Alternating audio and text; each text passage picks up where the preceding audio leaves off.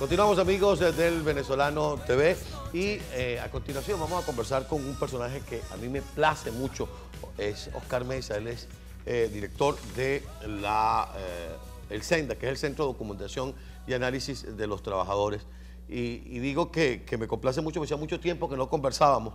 Y la última vez que conversábamos, Oscar y yo, creo que el dólar estaba en algo así como en 150 bolívares de los viejos. Y decíamos, va a llegar, va a, llegar a 500. Y fíjense ustedes todo lo que ha ocurrido en estos últimos años. Y, y, él es un gran estudioso de lo que significa el salario real de los venezolanos, el poder adquisitivo de los venezolanos y lo que está pasando en la economía doméstica del país. Y por eso hemos querido invitarlo. Oscar, qué gusto saludarte y que estés con nosotros en el programa. Buenas noches, Carlos. Y no sé si Carla también, pero en todo caso, saludos a los amigos que nos ven. Sí, lamentablemente Carla está en una, en una asignación especial, pero Obviamente le voy a hacer llegar tus saludos desde, desde donde se encuentre para que sepa que estuviste pendiente de saludarla.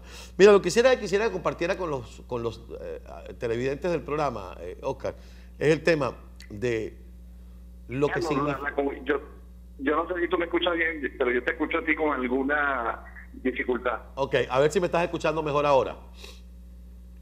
A ver, ¿me escuchas mejor ahora? Ahorita sí, creo que sí.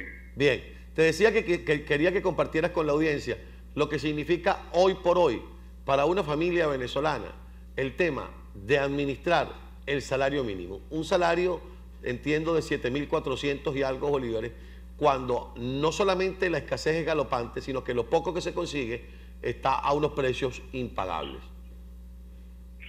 Mira, el salario en este momento, Carlos, es de 7.421,68 bolívares. Y si eso, digamos, lo dividimos entre 200 eh, bolívares por dólar, y fíjate que estoy tomando, digamos, el dólar sin nadie, ¿no? Un, eh, dólar, un tipo de cambio oficial. Estaríamos hablando de un, de un salario de 37 dólares con 10 centavos de dólar. Obviamente, si, yo tomara el, tipo de cambio paralelo, estaríamos hablando en este caso de 7.421 eh, dividámoslo entre 700, está un poco más allá, estaremos hablando de apenas 10 eh, dólares mensuales, es decir, por debajo del salario de un trabajador cubano. Imagínate tú. Y eso además se siente, eh, Carlos, como una cosa es, digamos, hablar de la cifra y, y, obtener un resultado como el que estamos haciendo en este momento. Pero lo que tenemos que ver nosotros es lo que está sucediendo en el día a día de los trabajadores, de, la familia venezolana, es una situación antes, porque nunca habíamos tenido, por ejemplo, Carlos, desde, estamos de alguna manera comentando esta información por ejemplo, que la canasta alimentaria haya aumentado en un año, eso nunca había sucedido en la historia de Venezuela, 228,5%. Comparen los, los amigos que nos están viendo este, con la inflación de Estados Unidos anualizada, que está en el orden de 1,5% al año, o la de Colombia, pues. 5%. Nosotros tuvimos hasta el mes de julio.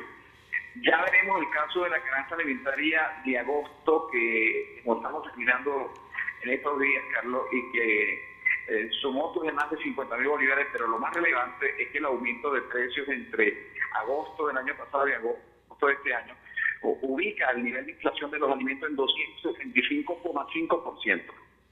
Entonces imagínate tú lo que eso significa. Y el aumento salarial en el año ha sido del 51,8%, de manera que, por supuesto, no hay ninguna proporción. Y además de ello, la mayoría de los trabajadores venezolanos eh, que tienen un empleo formal eh, deben entre 1 y 3 salarios mínimos.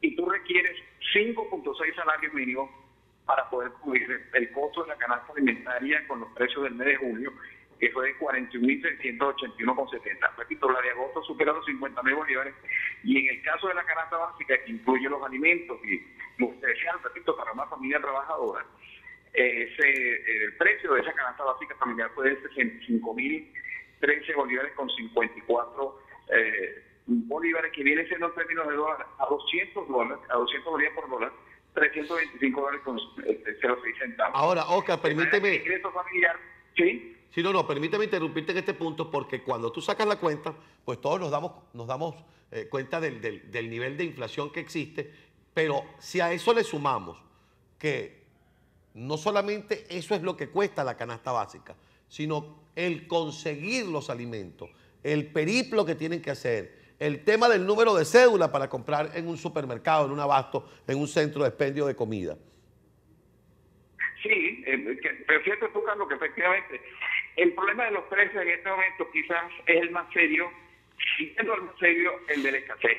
O sea, no es una contradicción, sino que incluso cuando tú pudieras conseguir eh, probablemente uno de los artículos que más escasean, porque es el papel higiénico, prácticamente desapareció en el país.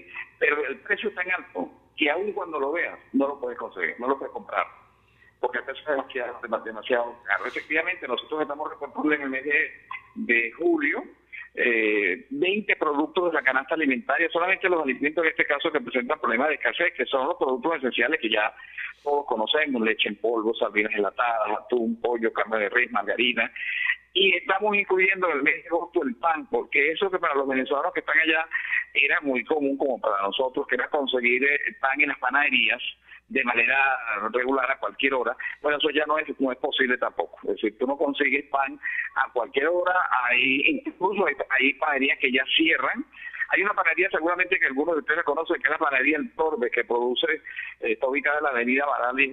Claro, produce pan andino, que es una maravilla. Excelente, mejor de, lo que yo conozco, por lo menos en Caracas. Bueno, esa panadería cierra en la mañana, porque simplemente no tiene harina suficiente para producir todo lo que vende, porque como tú sabes, Carlos vende absolutamente todos los productos de esa panadería son eh, excelentes. Bueno, y así ocurre con otras panaderías, eh, en donde en, en donde antes, por supuesto, se garantizaba el producto. Manera que ese es un problema bien serio. Nosotros estamos ahora en el mes de agosto anotando un nivel de escasez de 36,20 en lo que, lo que se refiere en definitiva a 21 productos de la canasta alimentaria que presentan eh, problemas de escasez y una canasta de 58 y, y, adicionalmente 29 productos dentro de los cuales están por supuesto el papel higiénico, jabón, el famoso jabón azul que era quizás el, jabón al que en definitiva se recurría cuando la situación de pobreza apretaba años más bueno, en este momento es prácticamente un producto exclusivo, gourmet, que, cuesta para conseguir.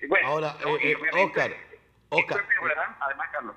No, nos quedan dos minutos y yo no quiero desaprovecharlos contigo y creo que vamos a tener que hacer un programa un poco más largo para que estés con nosotros eh, de una forma más extendida.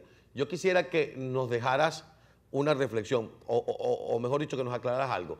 Siempre se ha dicho que los niveles de pobreza se miden por aquellas personas que vivían con menos de un dólar al día o con aquellas personas que de las tres comidas hacían una o menos.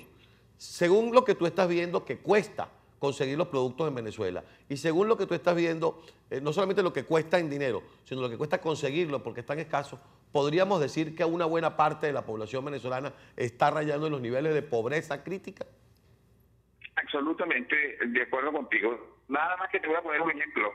Este, una, ah, un maestro, un profesor eh, de por lo menos 600 mil, porque el Centro de Documentación y Análisis Social que yo dirijo es de la Federación Venezolana de Maestros. Pero mira, un maestro, un profesor, no gana más de dos salarios mínimos, Carlos. Y necesitas 5.6 salarios mínimos solo para la comida, pero además que no este dato que es un hallazgo reciente. Un trabajador venezolano, sea profesor, profesional o no, necesita solo para ir a trabajar para aquellos que decían este, para la posibilidad de reproducir, de mantenerse y reproducir la fuerza de trabajo también lo decía el manifiesto comunista, él solo necesita tres salarios mínimos. Porque, digamos, un trabajador venezolano con el gasto mínimo requiere por lo menos mil bolívares diarios, a la semana serían cinco mil, multiplicado por cuatro, te daría aproximadamente 20 mil. Eso significan tres salarios mínimos que requiere solamente el trabajador para ir a trabajador y poder producir, para ir a trabajo, perdón, y poder de alguna manera generar los salarios necesarios para cumplir por lo menos con el llevar la, comida a la casa. Esa es una de las razones por las cuales, Carlos, no consigue ahorita trabajadores porque nadie quiere trabajar por, un salario mínimo. Claro. obviamente no Bien. Te agradezco muchísimo, Oscar. Primero, el beneficio de poder eh, eh, volver a saludarnos Gracias por estar eh, eh, eh, para nosotros disponibles para esta conversación y te vamos a volver a consultar porque la situación en Venezuela es realmente preocupante. Un gran abrazo y gracias por estar con nosotros. Buenas noches. Amigos, Oscar Mesa, él es director del Centro de Documentación y Análisis Social de la Federación Venezolana de Maestros. Tiempo de pausa. Enseguida estamos de vuelta con ustedes. Buenas noches.